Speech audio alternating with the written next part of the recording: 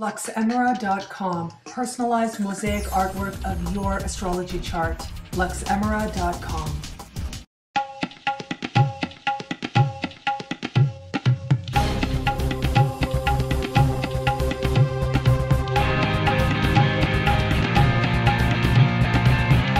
Hello, fabulous Aries. Welcome to your monthly horoscope for the month of June 2012. I am your astrologer, Nadiya Shah. Thank you for being here.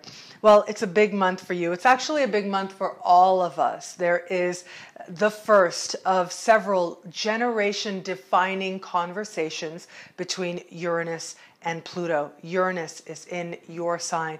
Now, this speaks to you more directly because you are in the middle of a process of change.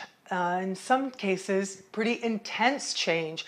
The universe really wants you to let go of anything you no longer need, anything that gets in the way of you being truly yourself, you deciding on who you are outside of the expectations and conditioning of anyone else.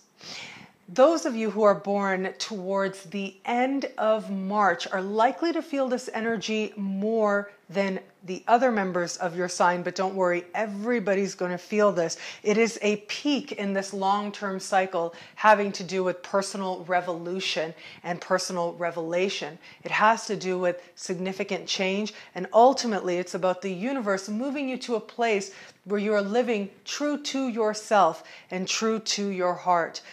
This time and this month, the lesson starts coming about in a way that might not feel so comfortable to all of you out there. I'm sorry to say there are other really amazing things happening in the sky, but because this is such an important vibration for you, it is the one I have to mention first.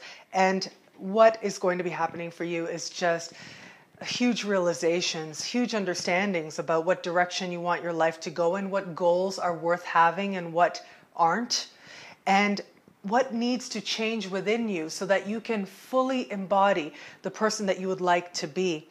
What will be shown to you are steps, and that's the opportunity. You will see the steps that you can take, and you will be presented with a tremendous amount of knowledge, a tremendous amount of learning and even though all of these issues that I've discussed so far are very personal, they're about your personal growth and your personal understanding, it isn't just about you, of course, it is that other people are involved. And what I'm seeing is that you are likely to run into people while you're going about your day uh, and have random interactions. And these interactions will be tinged with uh, an element of attraction, an element of desire, an element of love.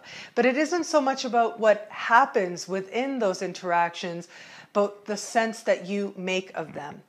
What is important is the meaning that you gather and the ownership that you take for the lessons that you need to learn. Because it is within those interactions that you are going to have some important conversations that are going to lead you to examine yourself more deeply. And that in turn will lead you to look at what it is that you are actually creating in your life and where it is that you are actually going. A small number of those of your sign in the sign of Aries are going to experience changes in career, very possible. But most of you are going to first have a change of heart, a change within your heart, as you realign what it is that you have set out to do over the course of this lifetime and bring it more into alignment with a higher, more loving vision of your life.